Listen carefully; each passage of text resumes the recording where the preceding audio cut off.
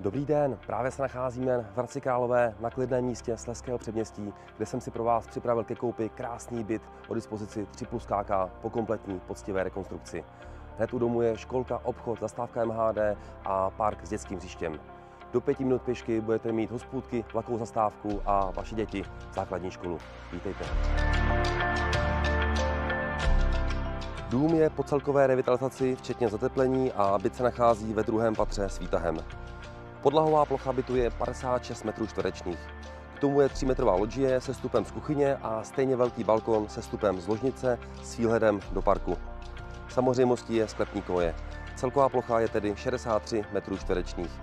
Byt prošel celkovou rekonstrukcí v roce 2015. Z toho roku je tu zděné jádro, koupelna, kuchyňská linka na míru, podlahy, elektřina, omítky a interiérové dveře. Zkrátka všechno.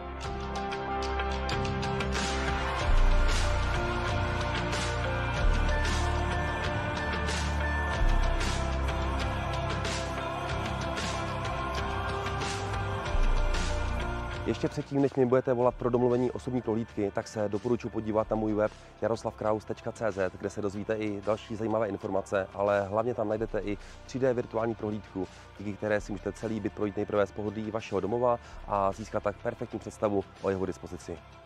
No a jestli přemýšlíte na prodejem vaší nemovitosti nebo se vám prodej nedaří, tak mě zavolejte taky a třeba pomůžu i vám.